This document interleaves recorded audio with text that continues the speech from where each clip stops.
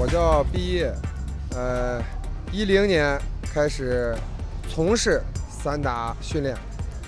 打对于呃，就是别的项目来说，它是全腿摔都有的一个综合性项目，所以说它的对抗性项目比较强一点，比拳击 （boxing） 拳击要强很多。我之前是搞拳击的，搞拳击。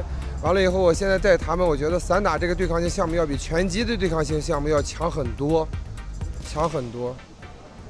我对队员的要求就是，就是尽量的，尽量的人性化，因为我让我觉得和跟队员在一起，就是能达到一个，能达到一个，呃，让队员能接受你，能更好的适应你的这种训练的这种状态。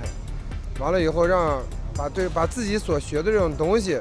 更贴切的就交到队员身上，因为这样子让队员更好的去接受你的东西。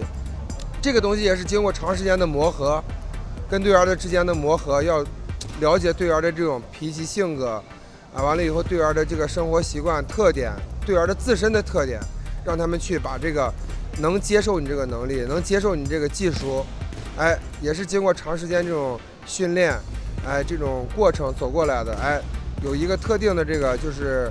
技术让队员去接受，这样子，嗯，才能达到你的想要的这种目的。因为让他们去接受了以后，才能达到我想要的那种结果，我想要那种效果。这样子就是非常好，这样子才能练的练出来，才能能练出来。那对于教练来说，我首先拿我自己来说，我对我的要求就是非常严格。我对队员的要求就是按我自己的要求。把我自己要求严格，我才能把队员要求严格。